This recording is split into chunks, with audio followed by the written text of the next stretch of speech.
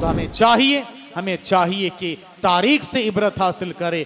تاریخ صحیفہ کلوہا عبرت تاریخ ایک رجسٹر ہے، یہ عبرت کا سامان ہوتا ہے۔ ہمیں چاہیے کہ تاریخ سے عبرت حاصل کرے کہ مسلمان کب عروج کو پہنچے اور کب زوال پذیر ہوئے۔ یاد رکھیے، اصل ہے ایمان کی طاقت اور قوت۔ اللہ تعالی اہل ایمان کی طرف سے ڈیفنس کرتا ہے، ان اللہ یدافع عن الذین آمنوا۔ تو ہمیں چاہیے کہ دشمن ہمیں دین سے دور کرنا چاہیں گے اور ہمیں اور زیادہ دیندار بننا ہے۔ جب دین و ایمان کی خاطر ہماری آزمائش ہو تو دین بیزار نہیں، اس وقت اور زیادہ دیندار بننا، کیونکہ دشمنان چاہیں گے ہمیں بے دین کر کے ہم پر مسلط ہو جائیں اور ہم دیندار بن کے اللہ کی حفاظت میں آ جانا چاہیے۔ الحمد لله رب العالمين الصلاة والسلام على أشرف الأنبياء وسيد المرسلين. نبينا محمد وعلى آله وأصحابه أجمعين. ومن تبعهم بإحسان إلى يوم الدين أما بعد. أعوذ بالله السميع العليم من الشيطان الرجيم من همسه ونفخه ونفخه. ظهر الفساد في البر والبحر بما كسبت أيدي الناس. وقال رسول الله صلى الله عليه وسلم ولم ينقصوا ولم ينقضوا عهد الله وعهد رسوله إلا سلط الله عليهم عدوا من غيرهم فأخذوا بعض ما في أيديهم. حضرین گرامی پانچ گناہوں کی وجہ سے مختلف طرح کی سزاؤں کا تذکرہ۔ پیارے نبی صلی اللہ علیہ وسلم نے ایک عظیم حدیث میں جو فرمایا، اسی تعلق سے بات چل رہی ہے۔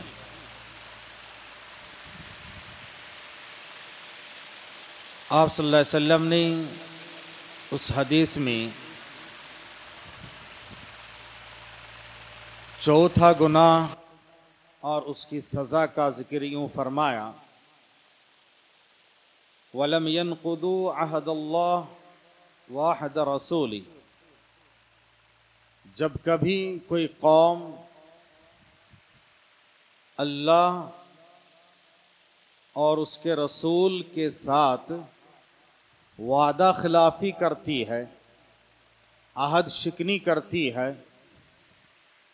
تو اللہ تعالی اس قوم پر ان کی دشم، ان کے دشمنوں کو مسلط کر دیتا ہے۔ اور دشمن ان پہ مسلط ہو کر جو کچھ ان کے پاس ہیں، ان کے زمین جائیداد ان کے اختیار، اقتدار، جو کچھ ان کے پاس ہیں، وہ سب دشمن ان سے چھین لیتے ہیں۔ بہت بڑا لمحہ فکر ہے۔ سوچنا اور غور کرنا چاہیے، کیونکہ یہ سوچنے اور غور کرنے کا مقام ہے۔ کہ آج اگر مسلمانوں کے اقتدار اختیار کو چھیننے کی بات ہو رہی ہے، ان کے زمین جائیداد پر قبضہ کرنے کی بات ہو رہی ہے، ان کے اختیارات کو ختم کر کے ان کو سیکنڈ کیٹیگری کے سٹیزن بنانے کی کوشش ہو رہی ہے، تو اس کے پیچھے پیارے نبی صلی اللہ علیہ وسلم نے جو بات بہت پہلے بتائی ہے کہ ہمارے اور آپ کا یہ گناہ کار فرما ہے کہ اسی کی وجہ سے یہ ساری باتیں ہو رہی ہے۔ اگر ہم اپنے وجود کو، اپنے زمین جائیداد کو، اپنے اقتدار و اختیار کو بچانا چاہتے ہیں تو اس گناہ کو چھوڑ کے ہمیں اللہ اس کے رسول کی طرف پلٹنا ہے، لوٹ کے آنا ہے۔ اور وہ ہے نبی نے فرمایا کہ لم ينقضوا عہد اللہ وعہد رسولی، اگر کوئی قوم اپنے اللہ اور رسول سے عہد شکنی کریں، وعدہ خلافی کریں، تو اللہ تعالیٰ ان کے دشمنوں کو ان پر مسلط کر دیتا ہے۔ دشمنوں کو ان پر حاوی کر دیتا ہے، غالب کر دیتا ہے۔ یہ مغلوب ہو جاتے ہیں۔ اور دشمن غالب آنے کے بعد فَأَخَذُوا بَعْدَ مَا فِي أَيْدِيهِمْ، بعض ان چیزوں کو وہ چھین لیتے ہیں، دشمن اپنے اختیار میں لے لیتے ہیں جو ان کے ہاتھوں میں ہیں، جو ان کے پاس ہیں۔ چاہے ان کے ہاتھوں میں کچھ بھی ہو، ڈاکومنٹس کی شکل میں ہو، زمین جائیداد کی شکل میں ہو، اقتدار و اختیار کی شکل میں ہو، جو بھی ان کے پاس ہے، ان کے ہاتھوں میں ہے دشمن ان سب کو چھیننے کی بات کرتے ہیں۔ حضرین اللہ اس کے رسول کے ساتھ وعدہ خلافی عہد شکنی کیا ہے؟ اللہ اس کے رسول کے ساتھ وعدہ خلافی کیا ہو سکتی ہے؟ جس کی وجہ سے اللہ تعالی اس سزا سے دو چار فرماتا ہے۔ ہر نفس یہ وعدہ کیا ہے۔ جب اللہ تعالیٰ نے آدم علیہ السلام کو پیدا فرمایا اور آدم علیہ السلام کی پشت سے قیامت تک آنے والی ساری روحوں کو، ساری آدم کی اولاد کو پیدا کیا اور پیدا کرنے کے بعد سامنے رکھ کر سب سے عہد لیا، وعدہ لیا، الستو بربکم۔ کیا میں تمہارا رب نہیں ہوں؟ سب نے بیک زبان یہ کہا تھا، قالو بلا شہیدنا کیوں نہیں اللہ؟ ہم اس بات پر گواہ بھی ہے اور ہم اقرار کرتے ہیں، وعدہ کرتے ہیں کہ اللہ تو ہمارا رب ہے۔ یہ ہم نے وعدہ کیا، یہ ہم نے اقرار کیا۔ پھر اس کے بعد یہ تو ہوئی ہر انسان کی بات۔ مسلمان کریمہ شہادتین کا اقرار کرتا ہے۔ اشہد اللہ الہ الا اللہ و اشہد ان محمد عبدہ و رسول اس بات کی میں گواہی دیتا ہوں۔ اللہ کے سوا کوئی معبود برحق نہیں ہے۔ اور میں اس بات کی بھی گواہی دیتا ہوں کہ محمد صلی اللہ علیہ وسلم اللہ کے بندے ہیں اور رسول ہیں۔ یہ ہم نے وعدہ کیا، یہ ہم نے اقرار کیا، یہ ہم نے عہد کیا ہے۔ اگر ہم اس عہد شکنے میں مبتلا ہو جائیں تو اللہ کی طرف سے یہ عذاب آئے گا۔ ہم نے اللہ کو رب تو مانا ہے، اقرار تو کیا ہے۔ کیا ہمارا عمل ویسا ہے؟ ہم نے یہ کہا کہ اللہ تو ہمارا رب ہے۔ اور رب کا مطلب ہوتا خالق، مالک اور مدبر کائنات کائنات کے نظام و سسٹم کو چلانے والا۔ اب انسان اللہ کے تعلق سے یہ اقرار کیا ہے کہ اللہ تو رب ہے، تو عبادت کا حقدار ہے۔ تیرے سوا کوئی عبادت کے حقدار نہیں ہے۔ اب عبادت کسی اور کا اور کی کرتا ہے، اولاد کسی اور سے مانگتا ہے، فریاد کسی اور سے کرتا ہے، ماتھا کسی اور کے پاس ٹیکتا ہے، طواف اور نظر کسی اور کے لیے کرتا ہے، اور قربانی زبا کسی اور کے حضور میں پیش کرتا ہے، توکل، بھروسہ اللہ چھوڑ کے کسی اور پر کرتا ہے۔ تو ظاہر سی بات ہے، اس وعدے میں، اس اقرار میں وہ وعدہ خلافی کر رہا ہے۔ رسول کے ساتھ ہم نے عہد تو کیا ہے کہ اللہ کے رسول محمد صلی اللہ علیہ وسلم اللہ کے رسول ہیں، بندے ہیں۔ کتنے لوگ ایسے ہیں جو نبی صلی اللہ علیہ وسلم کو بندہ ماننے کے لیے تیار نہیں ہے۔ زبان سے اقرار تو کرتا ہے، اس کو پتا بھی نہیں کہ میں کیا اقرار کر رہا ہوں۔ نبی کے تعلق سے سب سے پہلے بندہ ہونے کا اقرار کرنا ابد و رسول اور رسول دونوں میں سے کسی ایک کا کوئی اگر اقرار نہ کریں انکار کر دیں، کوئی کہے رسول تو مانتا ہوں مگر بندہ نہیں مانتا ہوں، وہ مسلمان مومن نہیں ہو سکتا ہے۔ کوئی کہے کہ میں بندہ تو مانتا ہوں مگر رسول نہیں مانتا ہوں، جیسے کفار و مشکین تھے، انہوں نے کہا کہ انسان تو ہے، بندہ تو ہے، مگر ہم رسول نہیں مانتے ہیں۔ دونوں کا عقیدہ غلط ہے۔ دونوں قابل قبول نہیں ہے۔ یاد رکھیں میرے بھائیوں اب ہم نے اللہ کے رسول صلی اللہ علیہ وسلم کو اپنا آئیڈیل مانا ہے، ماڈل مانا ہے، اسوا اور قدوہ مانا، نمونہ مانا۔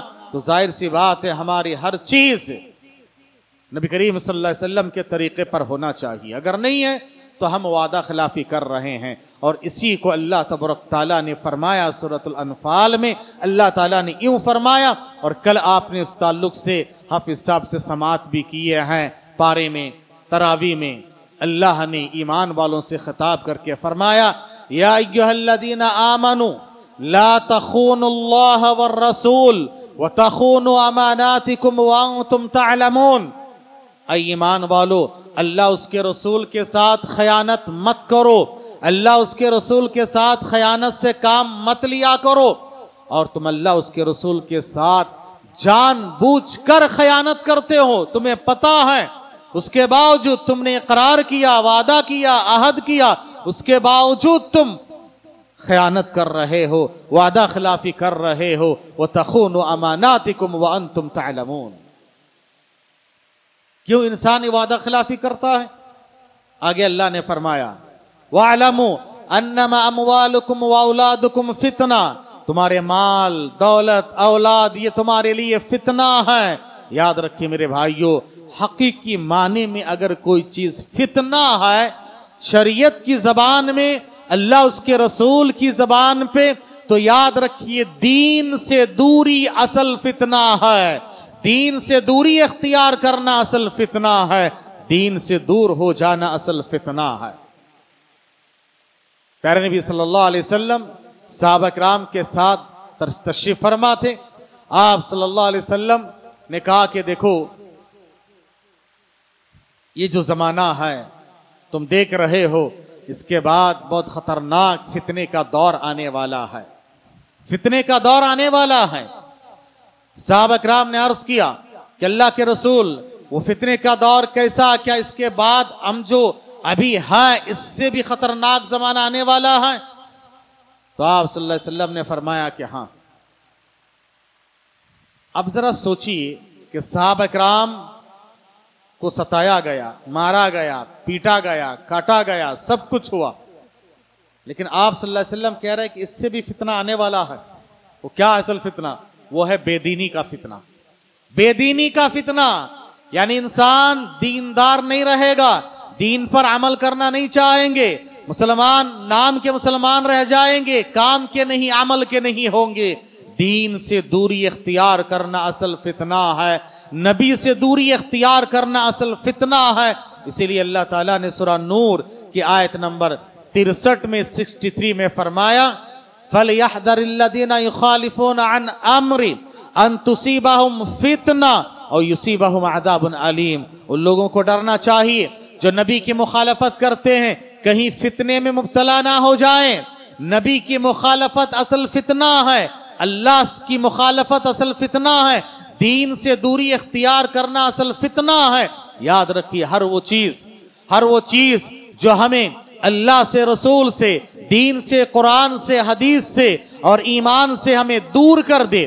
غافل کر دے، سست رفتار بنا دے۔ یاد رکھیے، وہ چیز فتنہ ہے۔ چاہے وہ ہمارے مال و دولت ہو، ہمارے کاروبار، اقتدار و اختیار ہو، ہماری عادتیں اور اتوار ہو، ہمارے دوست اور احباب ہو، ہماری کوئی بھی چیز ہو، اگر یہ چیز ہمیں دین سے دور کر دیں یا دین پر چلتے ہوئے ہمیں سست بنا دے، تو یاد رکھیے، وہ چیز فتنہ ہے۔ اسی لیے شریعت نے کہا کہ دیکھو، تمہارے مال و اولاد فتنہ ہے۔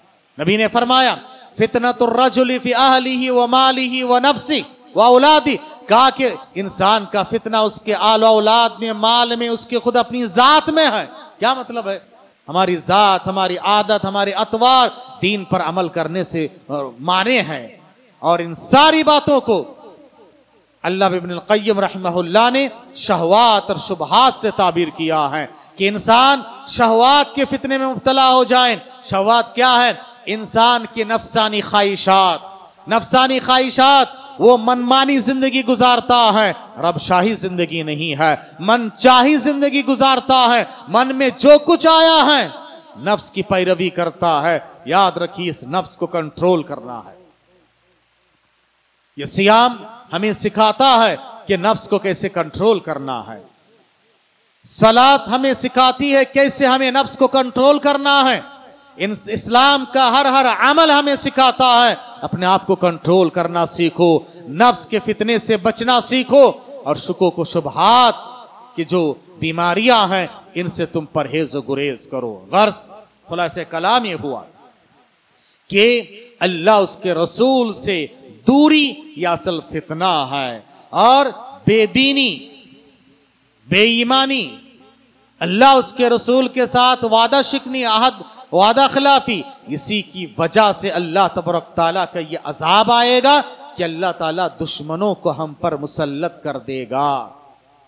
قرون اولا میں صحابہ اکرام، تابعین، طب تابعین، نظام، وہ لوگ جو آگے بڑھے ہیں، تو بتائیے کہ ان کے پاس کیا طاقت تھی؟